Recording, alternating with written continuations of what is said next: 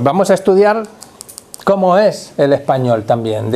el, temario tiene unas partes que hablan de, toda esta cosa de cómo es la lengua, para qué sirve, cómo funciona, dónde está, ¿sí? cómo es la simbolización, cómo es algo bueno para desarrollar la sociedad. Y luego tiene una segunda parte que es la parte de análisis de cómo funciona la lengua y el español, cómo funcionan las palabras. Lo que os he dicho de los sonidos, la N, la R, la L, ¿sí? Cómo hay diferentes lenguas que tienen las sílabas y las palabras de una forma diferente a, otras lenguas. Las lenguas se diferencian en cosas, aunque todas tienen la misma visión, ¿sí? De quién hizo qué a quién y organizar palabras, adjetivos y verbos, ¿sí? ¿Qué pasa con los japoneses? No sé si con todos los orientales, con la capital de España. ¿Cómo pronuncian ellos las palabras Madrid? El español tiene la posibilidad de hacer sílabas como DR, TR juntas, no solamente una vocal y una consonante. Mañana, no, decir trabajo. Madrid, madre. Pero el japonés no tiene esa posibilidad. Su lengua es consonante vocal, consonante vocal, consonante vocal. Por lo tanto, ellos cuando van a pronunciar Madrid tienen que decir Maduride. Tienen que hacer una consonante, una vocal, una consonante. Y ahí poco a poco consiguen decirlo rápido y hacer Madrid. Madrid, Madrid, Madrid. No sé cómo pronunciáis Madrid o cómo habéis aprendido a pronunciar Madrid vosotros. ¿Os sale rápido? ¿Os sale directo? ¿Tenéis este problema? Bueno, hay lenguas que tienen unas posibilidades, lenguas que tienen otras, cómo están organizadas y eso tu cerebro lo capta. ¿sí? Eh, ¿Qué pasa con el español y con la formación de plurales en español? ¿Cómo son los plurales en español, chicos? A ver, perro, perro, casa, casa, coche. ¿Qué hemos hecho? Poner una S. Bien, eso pasa en muchas lenguas, ¿sí? Pero tenemos tres terminaciones, a, casa, o, Mm, perro, e, coche. ¿sí? Y esto no ha sido así siempre. En el siglo XIV, XV, cuando el español todavía estaba formándose y cogiendo palabras de muchas partes, ¿sí? Había palabras, o incluso antes, porque desde el siglo XI estamos aquí ya con el español, con, el castellano, ¿sí? ¿sí? palabras que se recogían de otros dialectos, de aragonés, de, catalán, de, de, de, bable, de asturiano, etc. ¿sí? Y había palabras como mont. Mont. ¿Qué palabra puede ser mont? Monte. Noche. Noche. Es decir, no terminaban en E. Terminaban en consonante.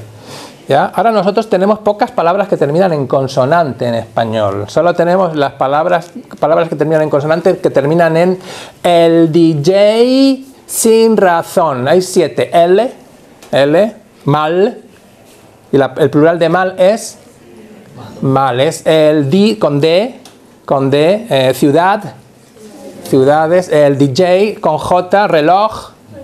Sin, palabras que tenían en S, en S, mes, mes, meses, sin razón. R, R, señor, señores. Z, Z, eh, felicidad bueno, felicidades. A ver, C, con Z que podíamos tener. Luz, luz, luces. Sin razón. Y N. N, una palabra que termina en N. Sartén, sartenes. Esas son las palabras, las finales de, palabras del español, ¿sí? Los finales solo tienen esas posibilidades. Y eh, normalmente terminan en A o E, pero hay algunas consonantes, ¿sí? Os estoy diciendo. Normalmente están A o E y el plural es, por lo tanto, coches, casas, eh, perros. Pero ¿qué pasa con una palabra como señor? Pues es señores, pone una E. Y con mes, meses.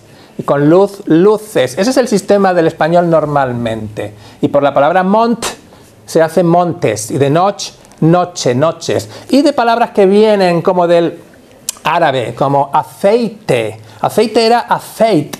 En árabe es aceite. Y de aceite hacemos aceite.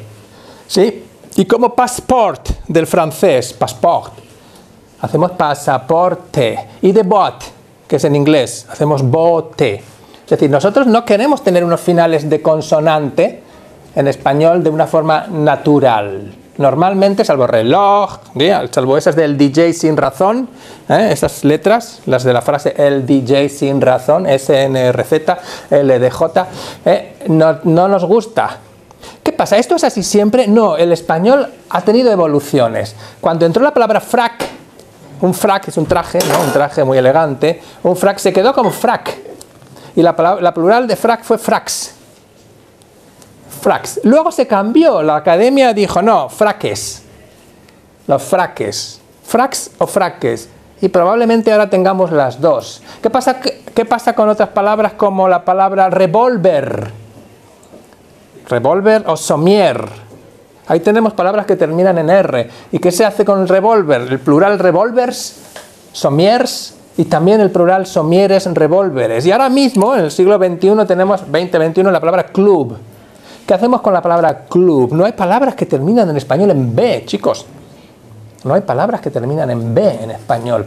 El español no tiene la B como final de palabra, pero existe esto y existe la palabra clubs, o clubes, o clus, o clues. Aquí tenemos unas cosas que están generándose en la lengua.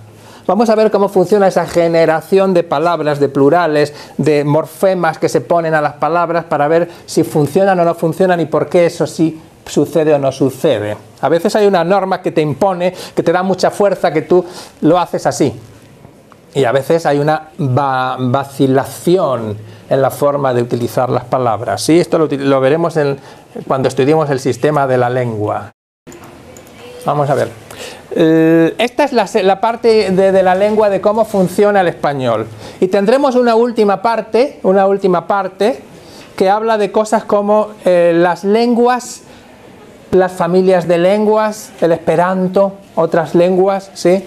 Eh, si las lenguas varían mucho, cómo varían las lenguas, los dialectos, el andaluz, el español, el cubano, el, chileno, el argentino, ¿no? Las lenguas también varían, ¿sí?